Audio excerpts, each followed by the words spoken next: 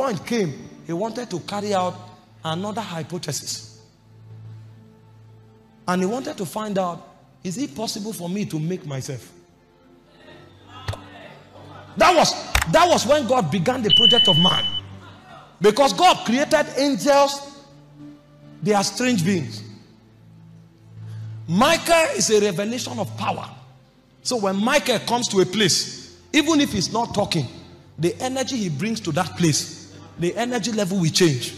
Because everything about Michael is power. If Michael enters this building now, before he introduces himself, all of us will be slain. He doesn't know how to speak for himself. The power goes ahead of him. If Michael lands in Abuja, many kings will die. Wicked kings. You know, you know, you know how Herod died. Herod died because a king entered the territory. because everything about him is power. When Gabriel enters this place, you will just begin to know things. Because there's a realm where they don't talk. You know as you are known. He is a custodian of mysteries. So when he shows up, you will just know. If Gabriel walks past you, you will know. Because he's a custodian of mysteries. He's a being of mysteries. And you know, in the angelic realm, they carry their environment. When we leave church, you will leave your environment behind. Angels are not like that. When an angel is going, he carries his environment with him. the spirit realm is a strange realm. it's a strange realm. When the spirit is moving, he comes with his environment. That's what we call atmosphere. They carry the environment. So the environment of Gabriel is secrets and mysteries. So when he comes, you will know things. Most times, when you function in the prophetic anointing, an, an angel in the order of Gabriel stood by you. And so you look at somebody, you just know what is in the person's heart. How did you know? You entered an atmosphere of a being. That's how they operate. They carry their environment. So God displayed enormous creativity when he fashioned the angels. When he wanted to create man, there was nothing external he could do anymore. The only thing he thought of was to make himself. I want to sit down and watch myself. And that is why the glory of man, unlike the angel, is not external. He had to hide the glory of man. Because if the angels see that glory, they will know. And they may begin to worship man. So he said, He has hid this treasure in earthen vessel. so when he created man, because man was a representative of God, he didn't put the glory outside. Michael's glory is external, Gabriel's glory is external, but the glory of man is hid inside. And that's why Paul said, This is the mystery of the age. Christ in you, the hope of glory. So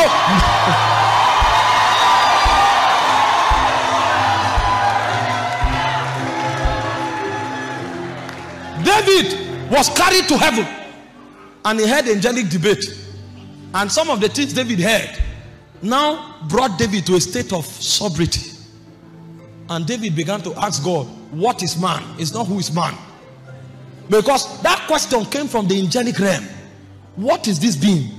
We have seen everything you created, but what is man? The reason is because when you want to define a man, you can't define him after any order except God. So the simplest way to define man is God in dust. The different, the simplest way to define man is God concealed. So when God looks upon man and created man, God had to rest because I don't need to walk anymore. Because when man is walking, God is walking. The reason God rested on the seventh day is because God has completed the project of creating another God. And that's why he said, Ye are gods, because you are the children of the Most High. And when Jesus came, Jesus did not contradict David. He said, It is written, Ye are gods, because you are the children of the Most High. If you say you are gods, unto whom the word of the Lord came, and the scriptures cannot be broken. You are gods. Why did you think God rested on the seventh day? Because if God is working on the seventh day, means two gods will be working.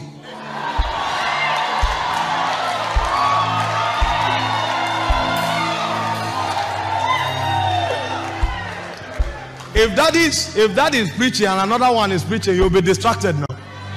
So when one is preaching, the other one needs to rest. So the one in heaven was resting. So that the one on earth can walk. That one on earth is the one now functioning by the wisdom of God, by the purposes of God, by the will of God. So that one on earth cannot walk unless it's in alignment with the one in heaven. This is why when Moses wanted to create the tabernacle, he said, Don't build because you are creative. He said, Make sure you build according to the patterns on the mount. Because your standard cannot be different from my standard. You are like unto me. The moment you step out of my realm, you will lose order, and the quality assurance in the spirit will contradict you. And when you are contradicted, it means your essence have been defied. Build according to the patterns that are revealed. So every time you are living your life and you tap into another wisdom, it was not an advantage. You actually declined in standard. You actually depreciated in quality because you were not supposed to look upon any other spirits to create because no other spirit is in the order of Elohim. Only man was created in the order of Elohim. So when man begins to converse with other spirits, what that man did was that he denatured. What that man did was that he goes down in class. When man wants to function, the only one man is permitted to look at is the one that dwells in the secret because that's the only one that is like him. That's the only one like him. When you consult a spirit, you didn't you don't you didn't know who you are. You went down, you declined. And that was why when the serpent came to the garden in Genesis chapter 3 and advised the man, and the man obeyed, God came, God was shocked. What? You mean another spirit is giving you counsel? Are you not aware that you are superior to every other spirit? How can a spirit advise you? You are in the order of God. Let us make man in our own image, after our likeness. Let them have dominion. How could you go to subscribe to the wisdom of another spirit? The day you did that, what you did was that you made yourself a slave. You are no longer a God because the realm where I, I created you from, as a God, you have three designations. The first designation is that you are a son. You are a son, that's why you are a God. Because he that is born of God is a God. Number two, you are a king. That's why you can rule over the earth. But the day you obeyed another spirit, you have activated another spiritual law. Because whoever you yield yourself servants to obey. The servant of him you are whom you have obeyed. So what you did was that you handed over your scepter as a king to another spirit. The realm where you live another spirit will rule you. I brought you into that realm to rule that realm. How come you handed your scepter away? You didn't know that you were a god and the third thing you did is that you lost the authority of priesthood the reason you have access to me is because you are a priest. And as a priest, your goal is to have intimacy and intercourse with me. So the Bible said in Genesis 3 9, in the cool of the day, the voice of God came walking in the garden.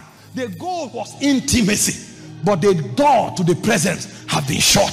So a cherubim came and drove him out of the out of the garden. So the man ceased being a son, he ceased being a king, and he ceased being a priest. And the moment he lost those three things, he was no longer a God. He became a man of man, a man after the flesh, a man created from dust that will return to dust.